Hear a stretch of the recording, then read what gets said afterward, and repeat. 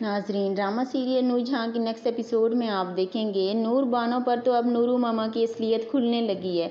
अब जबकि शादी हो गई है, काफ़ी दिन गुजर जाते हैं तो नूर बानो ऐसे ही आराम कर रही होती है। तो नूर जहाँ नूर बानो से कहती है, अब काफ़ी आराम हो गया तुम घर के काम काज में हाथ बिटाओ ये सुनकर नूर बानो काफ़ी हैरान होती है कि मैंने तो कभी कोई काम किया ही नहीं है। मगर नूर जहाँ उसे कहती है कि अगर नई बहू घर का काम ना करे तो बहुत गलत हो जाता है। अब नूर बानो यूँ ही बाहर सियान की सफ़ाई कर रही होती है, फर्श धोते उसकी हालत काफ़ी ख़राब होती है। तो मुराद उसके पास आता है कि ये तुमने क्या हाल बना रखा है? नूर बानो मुराद से ही गुस्सा होती है कि ये सब तुम्हारी वजह से हुआ है, तुम ही इसके ज़िम्मेदार हो। और तो और, नूरू मामा तो ये भी चाहती हैं कि नूर बानो अपना नाम बदल कर सिर्फ़ बानो रख ले, क्योंकि वो अकेली इस घर की नूर हैं। तो अब ऐसे में नूर बानो उन्हें जवाब देती है कि मैं कोई खिलौना नहीं हूँ जो आपके कहने पर कुछ भी कर लूँ।